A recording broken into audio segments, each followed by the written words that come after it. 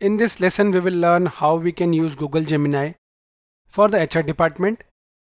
So this would be fruitful for, useful for the HR managers as well. Let's say you want interview questions, you can directly ask Google Gemini. With that, you can also get some welcome email draft. Let's say a new employee is joining and you want a draft to welcome that new joinee in the email so you can easily use Google Gemini for it. Let's see. So here is our Google Gemini. Click new chat. We will write a prompt to get some screening questions for a job profile. We are hiring a senior software engineer Can you suggest some screening questions to assess their programming skills?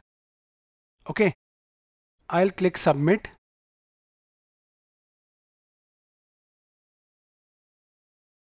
Here it is, you can check the screening questions, technical skills, additional tips also. Okay, share and export from here easily, draft in Gmail, copy it. Also suggest Google Gemini that whether it is a good response or a bad response. You can also modify the response from here. Now let us see the next prompt. Let's say you hired a new employee. We have a new employee joining next week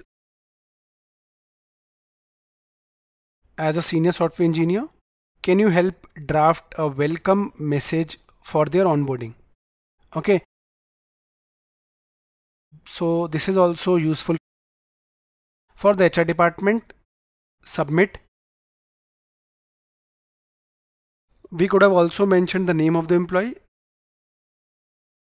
but no problem. We mentioned the job profile. Okay, welcome to the team employee name. Enter the new joinee the new employee name and here is the draft. Okay. You can copy it directly from here. I'll change it rename. Gemini for HR rename. So guys we saw how we can use Google Gemini for the HR department to get interview questions and to also get some drafts regarding welcome messages. Thank you for watching the video.